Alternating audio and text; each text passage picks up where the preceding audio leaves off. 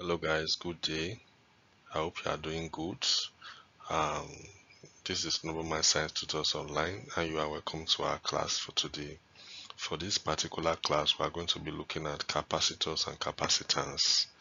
Capacitors and capacitance and then um, I will encourage you to get your writing materials get your calculators your biros your writing pad and get settled so that uh, we can go straight to our class. And besides that please if you have not subscribed to our channel please what are you waiting for? Subscribe to our channel now. Give us a thumbs up give us a like so that whenever we upload a new video youtube will notify you. Is that okay? So and uh, we'll also encourage you to help us share our videos in your various uh, social media platforms. Okay we thank you for visiting this channel. We will continue to do our best so that um, our lectures will impact positively on you. Then if you are a new comer or a new subscriber you are welcome to this uh, physics video tutorial. We promise to give you the best and to make physics as simple as possible to you. Okay? So welcome once again. You can also reach us through the WhatsApp number that is showing right on your screen. Okay, so thank you so much. Please, if you are ready, let's go to our class for today.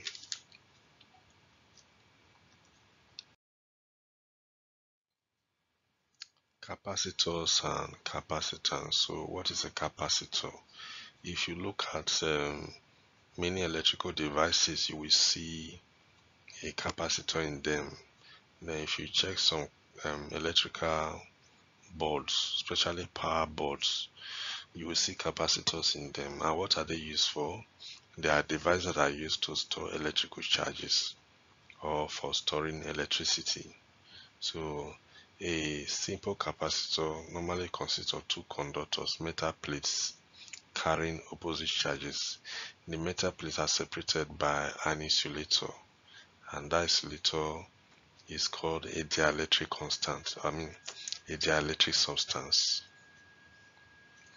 Okay, so the capacitance of a capacitor it increases with the area between the plates and then the dielectric constant but it decreases with the distance between the plates and that is what this simple equation indicates capacitance increases is direct proportional to the area between the plates and inversely proportional to the distance between the plates.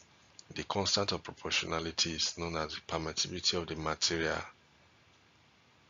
Okay, it's known as permittivity of the material between the plates. That is the constant of proportionality epsilon. Okay, so this, uh, these are some of the factors that affect the capacitance of a capacitor in the area between the plates and the distance between the plates. Then the capacitance of a capacitor is defined as the ratio of the charge on either plate or conductor to the potential difference between them. So capacitance is given as Q over V and Q is equals to CV okay or V is equals to Q all over C. As the case may be so it depends on what you are looking for. And then you know how to solve them. Then one microfarad is equals to 10 raised to minus 6 farad.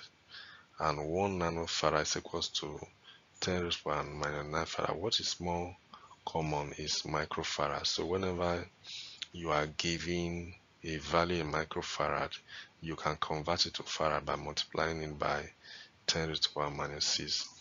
The same thing too, if you are giving a value in microcoulomb, you can convert it to coulomb by multiplying it by 10 to the power minus 6 uh, coulomb. Is that okay? So these are some simple conversions that you need to take note of when you are solving problems that has to do with electrical field intensity, talking about charges and um, and all that. Okay, so let's look at some um, some questions. Then we'll also go to other areas of capacitance, arrangement of capacitance, both in parallel and in series.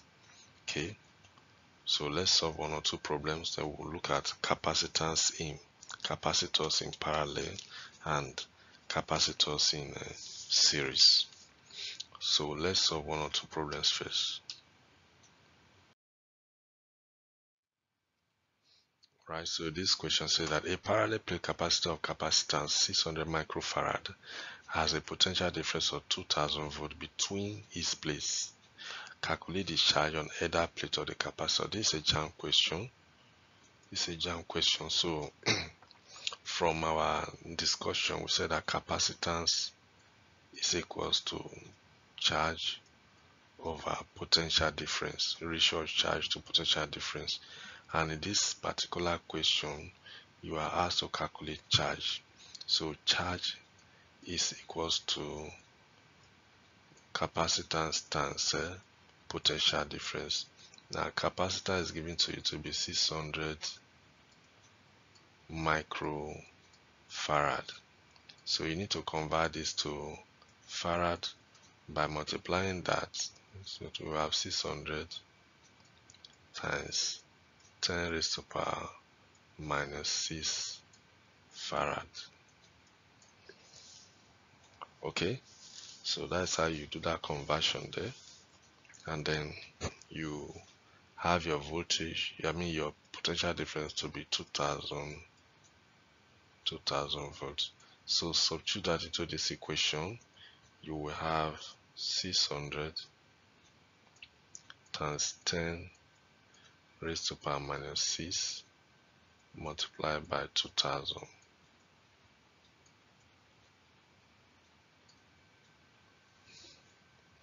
So when you do that multiplication out, it will give you, uh, you will have 1.2, 1.2 coulomb as your answer. I know that charge is measured in coulomb. Okay, so your Q is equals to 1.2 coulomb. Alright, so this how to apply this equation. Let's do one on the one more.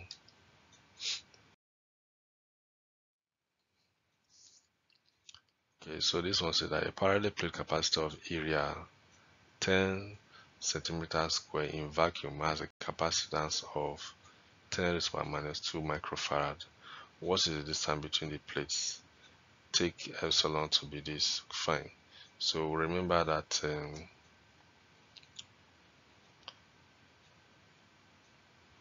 we remember that we said that capacitance is equals to capacitance is equals to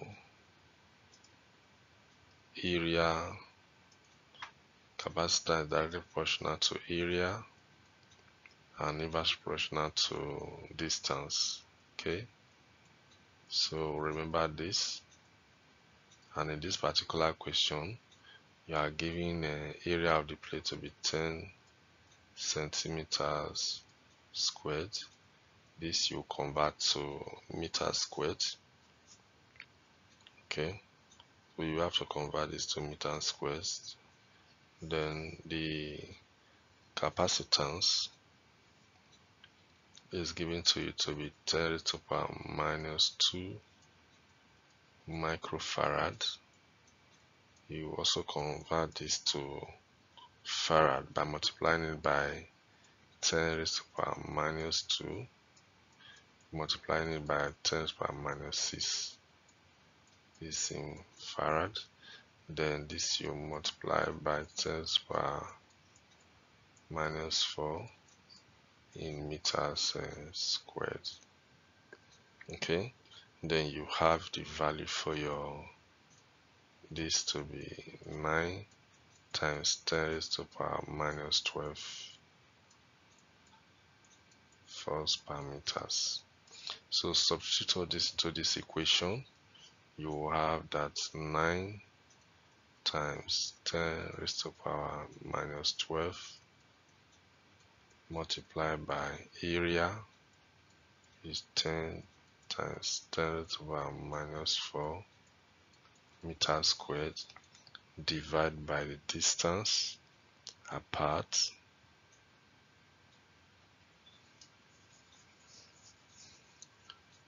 Okay we are looking for distance sorry so capacitor will be given to you i was looking at that differently.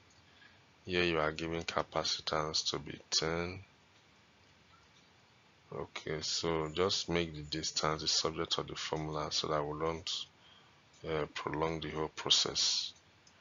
That will be better. Just make it all over capacitance which is 10 raised to power minus 2 times 10 raised to power minus, uh, 6 okay guys so you have to work this out well if you work this out you are going to have 9 distance will be equals to 9 times 10 uh, raised to power minus 7 meters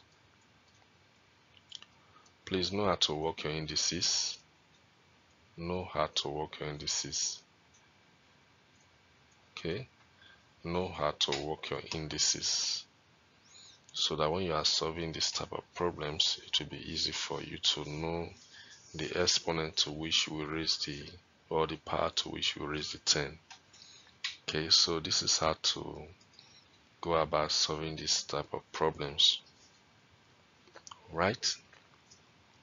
So now we'll go and look at the arrangement of capacitors in series and in parallel and how you can find the combined capacitance of capacitors that are arranged either in series or in parallel and the type of charge that flows and the PD across the different type of arrangements. Okay, so that's what we're going to go to now. Arrangement of capacitors. This is series arrangements. They are arranged end to end series arrangements. Is that okay? So in this type of arrangement, the combined capacitance of this capacitor is the sum of the reciprocal of all the capacitors. Hmm? The sum of the reciprocals of the capacitance of the capacitors will give you the combined or equivalent capacitance remember that if you compare to series arrangement of cells and resistors, for resistors, series arrangement is just normal addition. It's not addition or So capacitance in series is uh, the opposite of capacitor of resistors in series. For resistors in series, you just add, but for capacitance in series, you have to add your reciprocals okay so for all these capacitors the charge that flows through them is the same which is q. And the voltage across each one is equals or the pd across each one is equals to charge over capacitance. So for each of them so the overall pd is the summation of all the pds across the capacitors. Okay the summation of the PD across all the capacitors that is the overall PD across them right? So this is the arrangement and this is how to find the combined capacitance of capacitors in series. So we have a problem here that we can just solve to make that a little bit clearer So this question says that two capacitors of capacitance 5 microfarad and 3 microfarad are connected in series and the resulting combination is connected across a 6 volt um, a 6 volt uh, battery. 1. What is the equivalent capacitance of the capacitor? Then 2 total charge on the combination. So you can actually draw this. My drawing might not be too perfect but please you have to pardon me.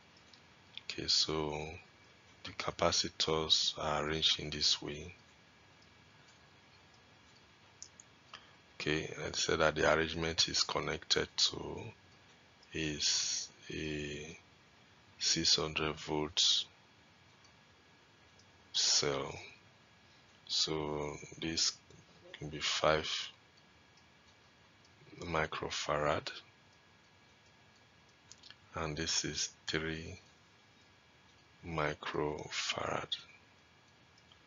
Alright so this is it. Is arrangement of the capacitor. So this is 600 uh, volts.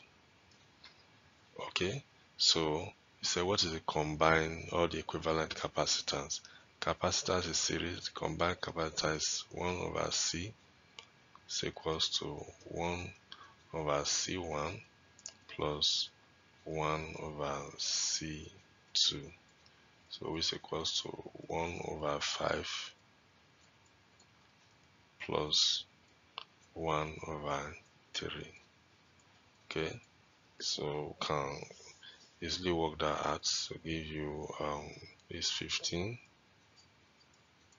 over 3 plus 5 so 1 over c is equals to 8 over 15 c is equals to 15 over 8 and that gives you what? 1 point what? 1.875 1.875 microfarad. So this is the combined capacitance for this uh, arrangement.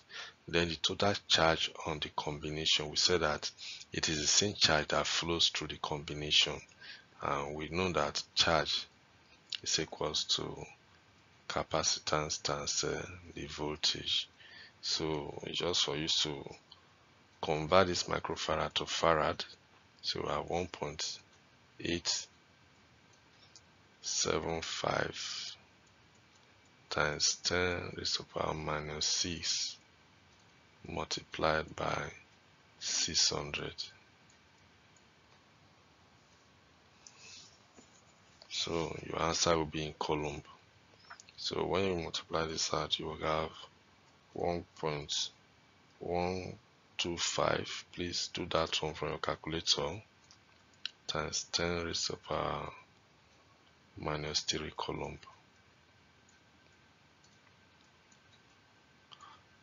Okay guys, so this is how to solve problems relating to capacitors in what in series okay so depending on the equation you are giving, you know how to maneuver and apply these equations, right? So let's look at capacitors in parallel.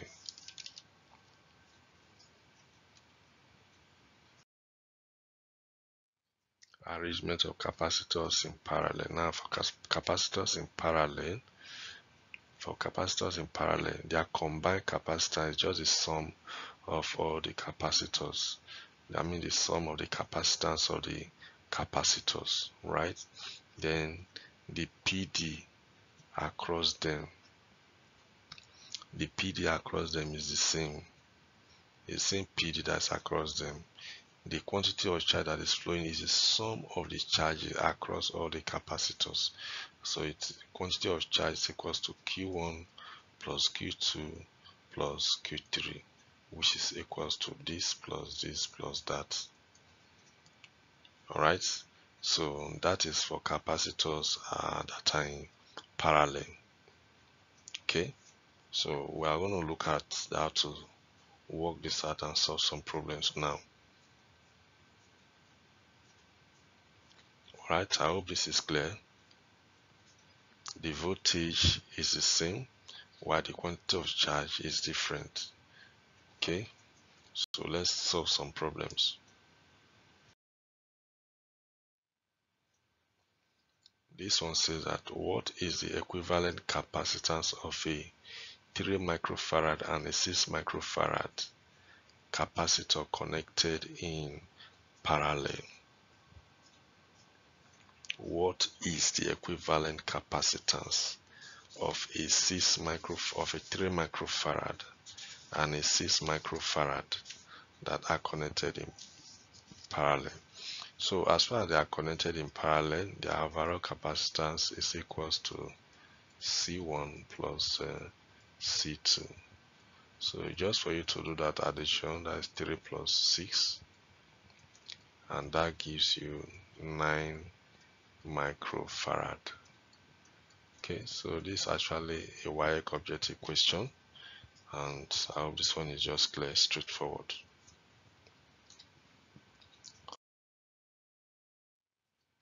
This is another sample question. The diagram above shows three capacitors C1, C2, and C3 of capacitance 2 microfarad, 6 microfarad, and 3 microfarad respectively. The PD across C1, C2, and C3 respectively are what? Now, when you look at these capacitors, they are connected in a series, not in parallel. Alright, they are connected in series and not in parallel. So, their combined capacitance is equals to what? 1 over C is equals to 1 over 2 plus 1 over 6 plus 1 over 3. Okay, so the, the LCM of this is equals to uh, 6. 2 divided 6 is 3. This is 6 to 6 is 1. And 3 into 6 is uh, 2 so this gives you 6 over 6 so which means the combined capacitor is equals to 1 microfarad okay i hope you get that. It's my 1 microfarad so now we are asked to find the pd across each each of these uh, capacitor. Before you can find their pd you have to find the charge. You have to find the charge that is flowing because we are told that it is the same charge that is flowing through all the capacitors all the capacitors because they are in series. So charge is equals to CV okay so C is 1 microfarad and then your V is equals to 12 so this is 1 times 12 and that gives you 12 coulomb. So this is the charge that is flowing through this arrangement. Now if this is the charge, what is the PD across each one? Huh? What is the PD? So for the the PD, we said that the PD, the overall PD is the sum of each of the individual PD. Okay, so V1 is equals to Q over C1. So Q is 12 and C1 is equals to 2. So that gives us 6 uh, volts. For V2 is equals to Q over C2 which equals to 12 over 6 which gives us 2 volts okay then for v3 is equals to 12 over 3 which gives us 4 volts so the pd across uh, c1 C2 and C3 is equals to 6 volts, 2 volts, and 4 volts. This is actually a JAMB question, so these are these are the option for this particular JAMB question. Okay, so this is how to go about solving some problems in this particular topic, right? So I hope those are Okay, so I hope those are clear and then this is a test question for you to solve. Said the diagram above shows two capacitors P and Q of capacitance 5 microfarad and 10 microfarad. Find the charges stored in P and Q respectively. Remember that the charge in P and Q is equal to their individual charges. Okay, it's equals to their individual charges. So what you could do is just to find the charge in each of them. Alright? Find the charge in each of them. That gives you your, your answer that you are looking for okay guys so this we are ending our this lecture. Thank you so much for your time. We hope you are gaining a lot. Okay so but before i hands up please if you have not subscribed to this channel please subscribe to this channel. Give us a like. Click on the notification bell so that whenever we upload a new video youtube will notify you. Okay help us to share this video in your social media platforms so that other people can also learn about this channel and also come and benefit the way you are benefiting. You can reach us through the whatsapp number that is showing right on your screen. So i remain on top of michael. We hope to see you in our next class. Thank you